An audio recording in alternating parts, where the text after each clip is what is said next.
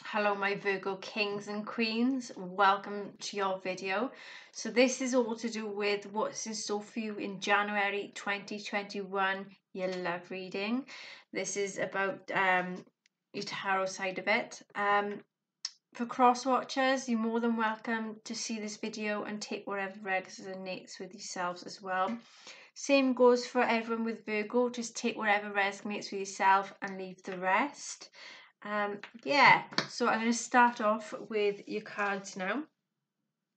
Um, right, so your first card is the Queen of Wands. So the Queen of Wands is this person that you're coming in contact with is very, very fiery. So they've got a fire um, zodiac sign.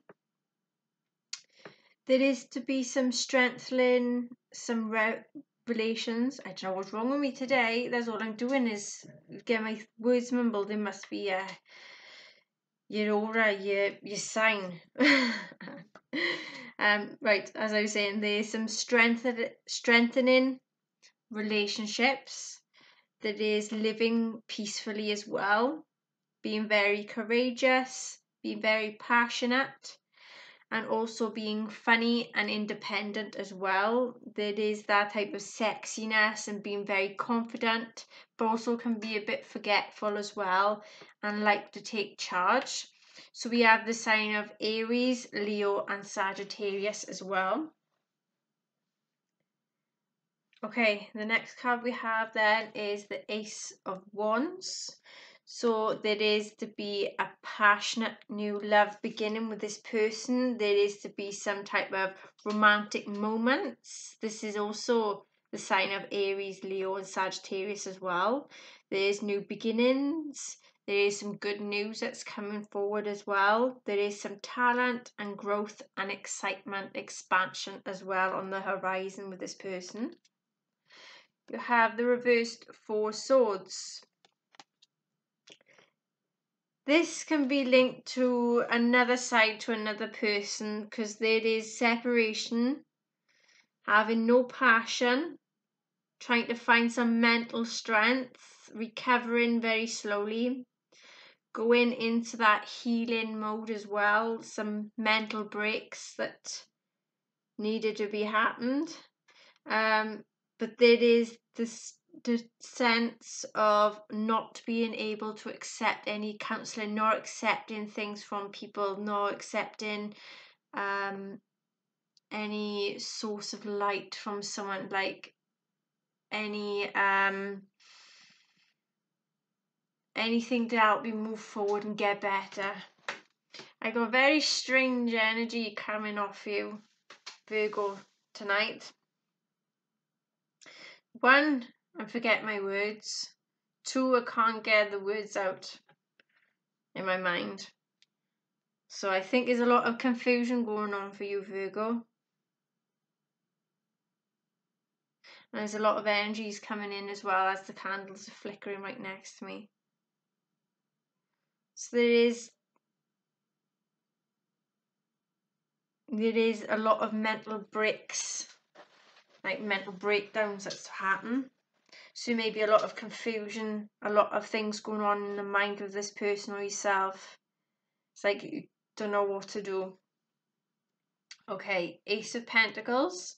So the Ace of Pentacles is there is to be some type of prosperity coming in, some manifestation that's coming forward as well, and some new financial opportunities. There is some happiness, wealth, new beginning, and some type of security, stability, and abundance as well.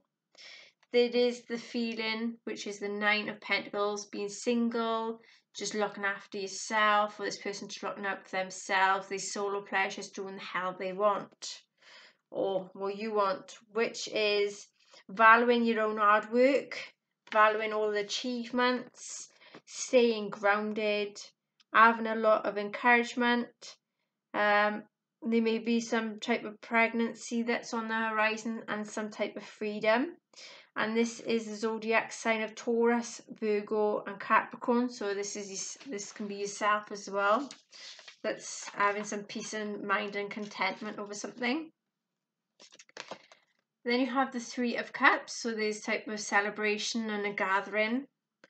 Um, it could be a wedding, an engagement, could be also a reconciliation over a third party member um, or a type of proposal or reunion or a, you know a lot of happiness and this is the zodiac signs of Pisces, Cancer and Scorpio.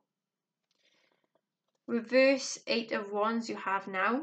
So the reversed 8 of Wands is avoid taking on too many responsibilities, may have the feeling of being disconnected or withdrawn from everyone.